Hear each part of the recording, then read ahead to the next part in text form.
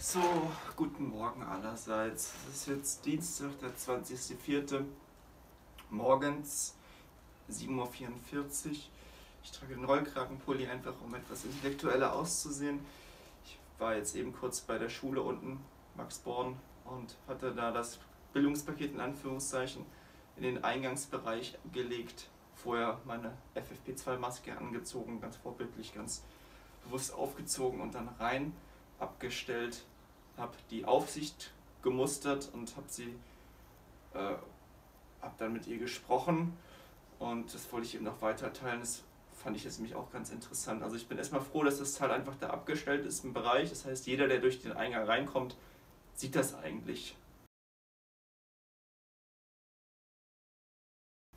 Also viele sind auch dran vorbeigelaufen und ich denke ich denk auf jeden Fall, dass es gut war, das dahin zu tun, sonst, also ich, sonst, das war ja auch der Plan, das zu tun und ich habe mir ja was dabei, was dabei gedacht. Also ob da jetzt was mitgenommen wird, ist halt die eine Sache, ob da jemand was von gebrauchen kann, aber gerade Locher, es sind ja zwei Locher mit drin, kann man bestimmt immer, immer im Klassenraum gebrauchen, um Arbeitsblätter zu lochen. Gibt es ja öfter, dass ein Klassenraum keine Locher hat. Also gerade die könnten schon nützlich werden, aber auch diese geistigen Inhalte, dass man Gegenstände und Menschen auch sorgfältig behandeln, soll, behandeln sollte. Und das mit dem LG Moralapostel ist ja nochmal ein kleiner Witz dabei. Ähm, auch wenn man das da nicht einfach befolgt äh, und vielleicht dann doch nicht lieb ist und andere ärgert oder mobbt, äh, trotzdem glaube ich auch, egal, wenn es schon jemand gelesen hat, immerhin ist es dann schon mal irgendwie im Kopf angekommen und vielleicht äh, müsste ich einfach so diese Nachrichten noch viel öfter irgendwo verteilen und je öfter man es liest und an verschiedenen Orten das so liest, desto mehr, das dann so Propaganda. Behandle Gegenstände Menschen lieb, behandle Gegenstände Menschen lieb und du siehst das überall. Äh, ja, durch diese Beschallung wie mit bei den Medien kommt das dann vielleicht auch irgendwann in der Handlung zum Tragen. Naja, auf jeden Fall habe ich dann noch kurz mit der Aufsicht gesprochen, es war ganz sympathisch, habe ich auf jeden Fall erfahren, dass eigentlich schulfremde Personen eigentlich gar nicht das Gebäude betreten dürfen da habe ich jetzt gerade noch irgendwie drüber gegrinst. Einmal kann ich es verstehen, wegen Sicherheit natürlich. Auf der anderen Seite, wenn jetzt ein böser Mensch rein möchte, kann er ja einfach reingehen. Ich konnte ja auch einfach reingehen. Es ist ja nicht direkt irgendwie Ausweiskontrolle oder sowas oder ob man Schüler ist.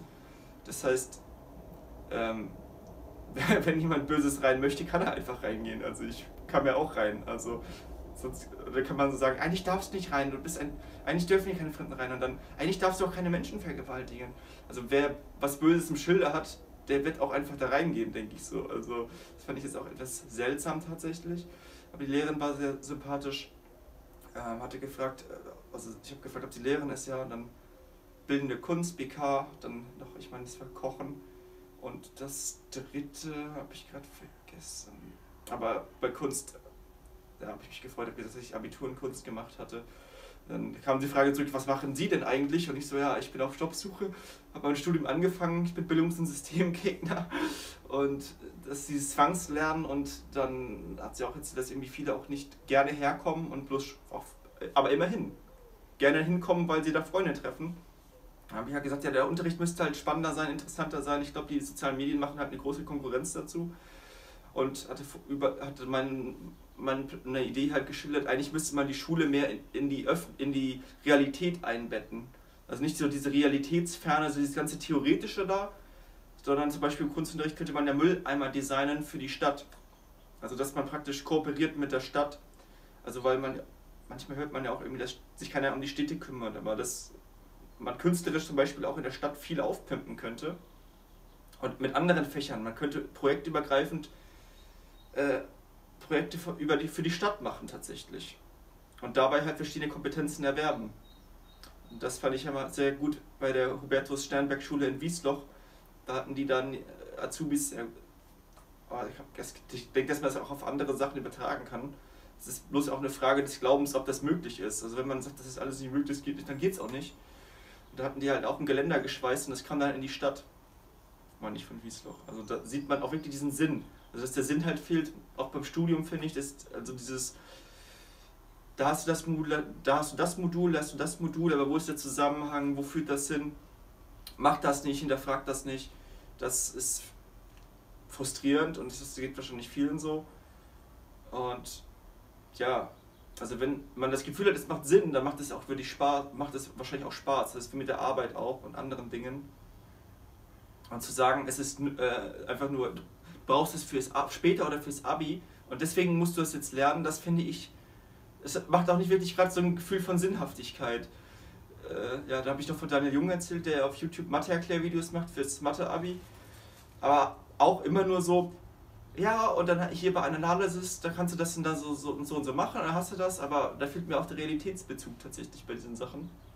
Und das geht wahrscheinlich anderen auch so. Es ist immer schön, wenn man irgendwie Sachen mit Beispielen hat, irgendwie, wo kann ich das anwenden, was soll denn das Ganze und warum muss mich das interessieren, warum? Und ja, das war ganz nett und dann am Ende, ja, gut, bin ich dann raus und ja, bin aber erstmal zufrieden. Das wollte ich mal kurz teilen, habe ich noch was vergessen aus dem Gespräch? Ja, ich habe noch gefragt, habe gesagt, ich habe da auch ein Buch mit beigelegt, von wegen, dass das Lesen ja auch gut für den Wortschatz, für den Wortschatz ist und sowas.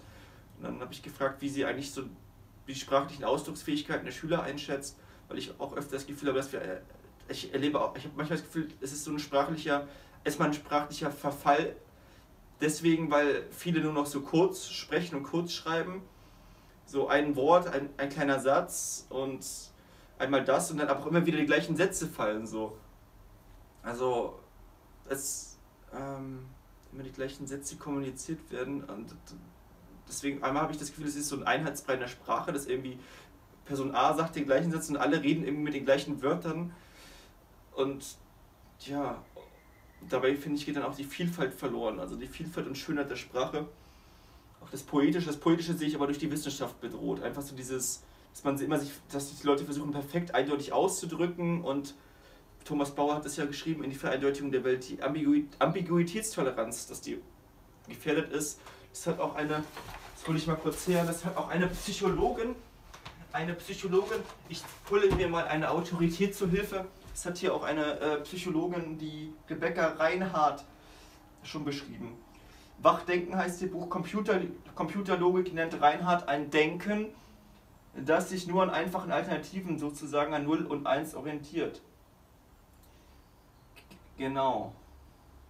Ja, es ist ähnlich wie mit Thomas Bauer. Und jetzt mache ich mal einen Cut hier und